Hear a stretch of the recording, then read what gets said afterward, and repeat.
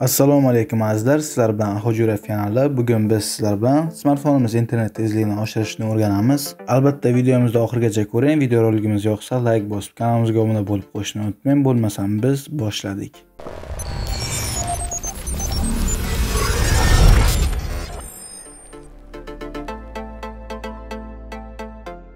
Azizlar biz oldin ham internet tezligini oshirish haqida videorolik qilgan edik. Agar ko'rmagan bo'lsangiz albatta ko'ring. Video manzara ekraningizda o'ng tomonida kirib bemalol ko'rishingiz mumkin. Bugungi videoroligimiz u videoroligimizdan farq qiladi. Buni ham albatta inobatga olasiz degan umiddaman. Azizlar hozirgi kunda deyarli barcha 4G texnologiyasidan foydalanadi. Lekin albatta 4G ni ta'riflashlarga qaraganda u juda ham tez ishlashi kerak edi. Lekin bizlarda internet tezligi 4G bo'lsa ham past. Buning asosiy sababi biz 4G tarmog'idan foydalanganimizda bizlarga yaqin qo'yilgan antennalar aholi soniga moslanmagan ya'ni siz ko'pchilik kirganligi sababli bizlarda internet tezligi pasayadi.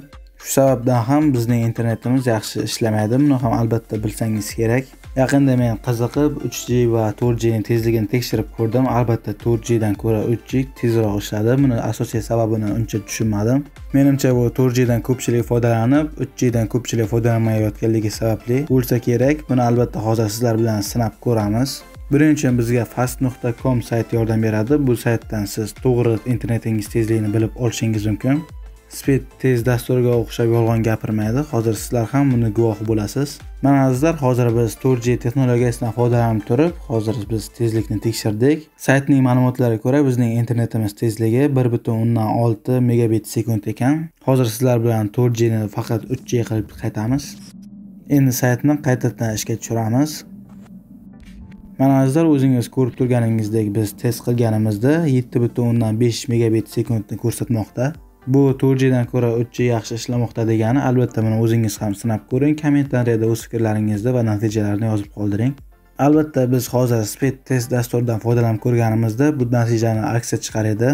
Sababi u dasturimiz har xil serverlarga ulangan holda ishlaydi shu sababli noto'g'ri ko'rsatadi tezlikni. Bu saytimiz esa bitta serverga ulanganligi sababli bizlarga natijani to'g'ri chiqarmoqda. Siz ham albatta sinab ko'rib farqlarini albatta yozib qoldiring.